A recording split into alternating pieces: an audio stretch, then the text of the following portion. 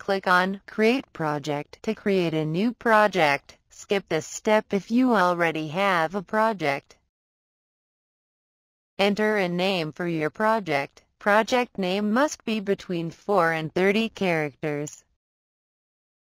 Click on Create button for creating a project. Click on Products and Services icon. Click on Networking option.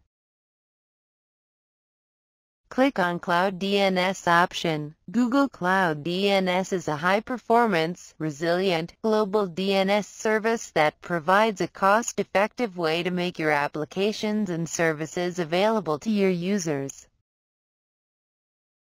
Click on Create Zone button.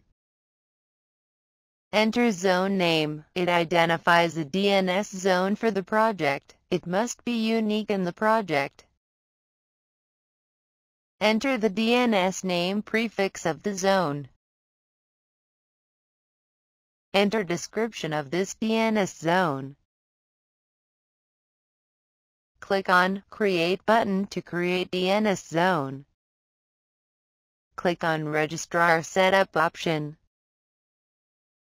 After you create a managed zone, set up name servers with your registrar to make it accessible. The process will differ by domain registrar provider and you should consult the documentation for your provider to determine how to make Click on Dismiss to hide message. You can also click on Learn more to learn about updating your domain's name servers. Click on Add Record Set button to add DNS records like A, AAAA, CNAME, TXT, PTR etc. Here we can add A or host record.